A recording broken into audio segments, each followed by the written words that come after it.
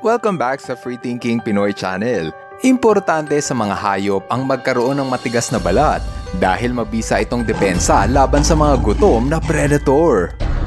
Dahil dyan, maraming hayop ang nag-evolve ng may matigas na armor gaya ng pangolin at ng armadillo. Pero paano kaya makakasurvive ang mga hayop na may malalambot na katawan? Gaya na lang ng pugita at kuhol. Kaya din ba nilang ipagtanggol ang kanilang sarili laban sa mga gutom na hayop? Ang sagot, isang malaking oo. Merong mga invertebrate animals ang nag-evolve ng may kakaibang self-defense para hindi sila kainin ng mas malaking hayop. May mga uod na gumagamit ng kamandag at merong pusit na gumagamit ng camouflage. Kung ano-ano pa ang superpowers ng mga hayop na may malambot na katawan, yan ang inyong mapapanood for today's video. Pero bago tayo magpatuloy, may tanong ako sa inyo. Mahilig rin ba kayo sa mga animals gaya ko? Kung oo, pues dapat kang mag-subscribe sa Free Thinking Pinoy Channel. Ang channel na ito ay ginawa ko para sa mga tao na mahilig rin sa wild animals. At ang maganda pa rito, libre lang ang mag-subscribe. Kaya ano pa ang hinihintay mo? Subscribe na! Ngayon, balik na tayo sa ating topic. Dito sa karagatan, may mga hayop na tinatawag na cuttlefish. Malambot ang katawan nito at maraming galamay, kaya napagkakamalan itong pusit. Dahil sa malambot lang ang katawan ng cuttlefish, madalas itong nabibiktima ng mga wobbegong shark. Upang makaiwas sa mga kalaban, nakaisip ito ng nakamamanghang paraan upang depensahan ang sarili. Sa tuwing merong kalaban, kaya nito ang magpalit ng kulay. Paiba-iba ang kulay nito na parabang gumagamit ng salamangka. Ginagawa nila ito upang madali silang makapagtago sa sahig ng karagatan. Sa tuwing may lumalapit na kalaban, mabilis itong nakapagtatago. Ang tawag rito ay camouflage. Ang camouflage ay ang kakayahan ng isang hayop na gayahin ang kulay ng paligid upang hindi sila madaling makita. Maliban sa nagagaya nito ang kulay ng paligid, kinatatakutan din ng ibang hayop ang paiba-ibang kulay ng cuttlefish. Maski ang mga tao, mangingilabot humawak ng hayop na umiilaw. Kung kinain ng cuttlefish ang magbago ng kulay, kaya rin itong gawin ng ilang uri ng pusit. Kesa mag-camouflage, ginagamit ng pusit ang kanilang kulay bilang komunikasyon upang magbigay babala sa tuwing may paparating na kalaban. Upang makatakas sa predator, may mga uri ng pusit gaya ng flying squid ang kinayang tumalon pataas ng tubig. Sa tuwing tumatalo ng mga flying squid, nagagawa nito ang umiwas sa kanilang kalaban gaya ng malaking isda. Nakamamangha ang powers na ito dahil kaya nitong tumalon sa taas na sampung talampakan. Ang lumangoy ng mabilis ang isa sa paraan ng maliliit na hayop upang makatakas sa kalaban. Ang magandang halimbawa nito ay ang paglangoy ng scallop sa tuwing may predator. Malambot lang ang loob ng katawan ng scallops kaya paborito itong kainin ng mga hayop gaya ng sea otter. Dahil dyan, nag-evolve ang mga scallops na hindi lang basta magtago sa loob ng kabibe, kundi natuto rin ito na lumangoy upang makatakas sa tuwing may panganib. Sa tuwing lumalapit ang mga starfish na paboritong kainin ng scallops, agad itong kumikilos papalayo sa kanyang kaaway. Dito sa lupa, ang mga bulate o yung earthworm ang madalas targetin ng mga gutom na ibon. Kaya naman nakaisip ng simpleng paraan ang mga bulate upang layuan sila ng kanilang kalaban. Sa tuwing nako-corner ang mga earthworm, nangingisay ito na parabang kitikiti sa sobrang kulit. Ginagawa nila ito upang lubayan sila ng sino man na gustong kumuha sa kanila. Mukha namang effective dahil sino ba ang magkakaroon ng gana na kumain sa bulate na kumikislot-kislot. Maliban sa mga bulate, merong isang uri ng uod ang may kakaibang depensa laban sa mga predator. Ang uod na aking tinutukoy ay ang banana slug.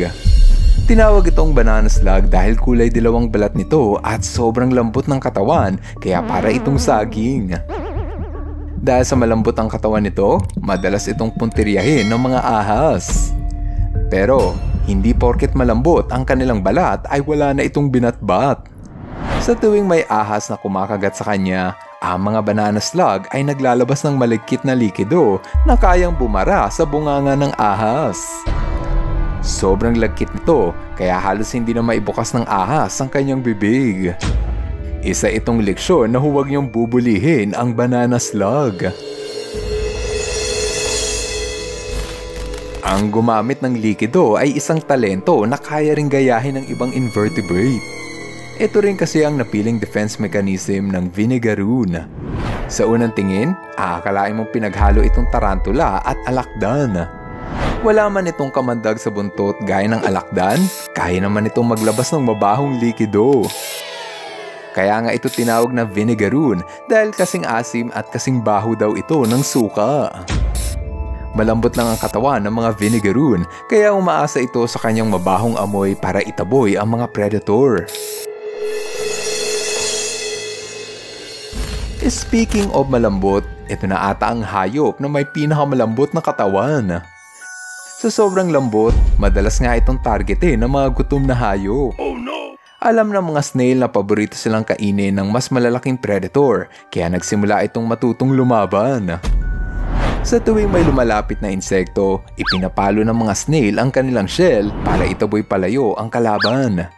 Gaya ng mapapanood mo sa video, makikita ang snail habang inihahampas niya ang kanyang shell laban sa insekto na may balak siyang kainin. Ang ibang hayop na hindi kayang lumaban sa predator, mas pinipili na lang ito na magtago sa ilalim ng buhanginan. Ang halimbawa nito ay ang razor clam na kinayang humukay sa ilalim ng buhangin kahit wala itong mga kamay. Nakatago sa loob ng shell nito ang malambot at malinamnam na karne kaya madalas din itong kainin ng malalaking ibon. Dahil dyan, mas gusto na lamang nito ang magtago para hindi sila makita ng mga ibon. Kung gusto mo na makakuha ng razor clam, dapat kang gumamit ng asin at budburan mo ang butas. Maya-maya lang, saka na lamang lalabas ang nagtatagong razor clam. Konting hila mo lang, tsak na makukuha mo na rin ang masarap na kabibi. Kung may mga shell na sobrang tigas, nakakita ka naman ng shell na puno ng nakakatusok na tinik? Dito sa ilalim ng dagat, pwede kang makakita ng shell na parang cactus sa dami ng panusok. Ito ang kabibe na kabilang sa pamilya ng Murex. Sa ganitong paraan, ligtas na nakapagtatago ang malambot nitong katawan sa loob ng shell. Pero kung minsan, may mga hayop na dinadala to the extreme ang pagkakaroon ng maraming tinig. Gaya na lamang ng mga sea urchin. Ang loob ng sea urchin ay naglalaman ng napakasarap na karne. Sa kasamaang palad, maski ang mga hayop sa dagat ay trip na trip kumain ng sea urchin.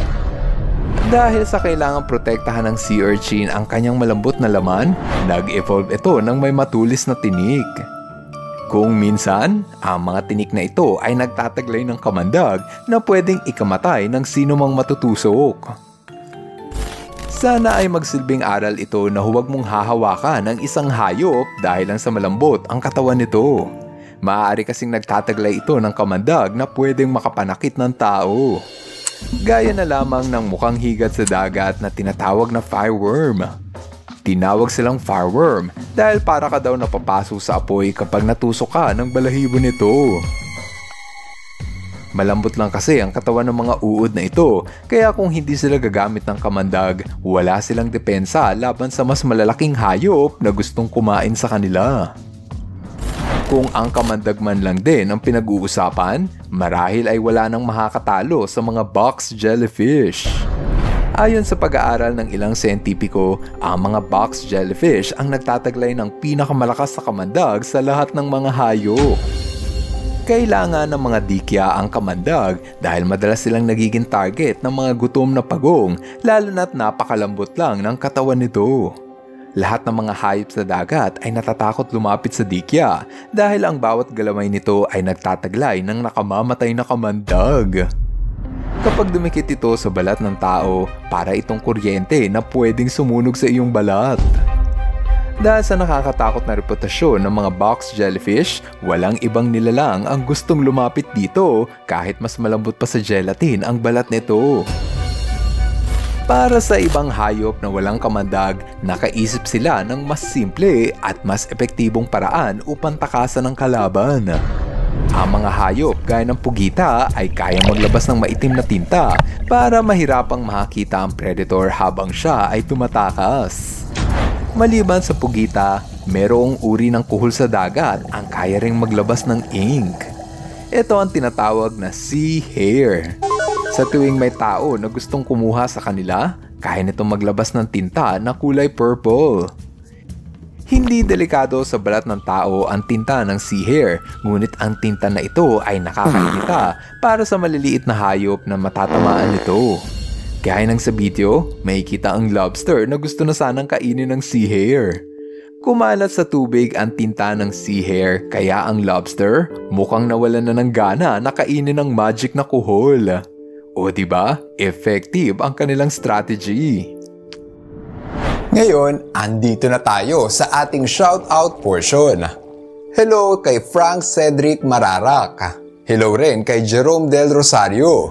What's up sa pamilya ni Laika Reyes? Shout out sa pamilya ni Carl Kingsley Solis. Belated happy birthday kay Juan Miguel Mercado. Lebron Jello at Lebrian Jello Laksamana. Telma Fabricante Salvador. At kay Uno at Dos. Maraming salamat sa inyong panunood. Now see you guys in my next video. Bye-bye!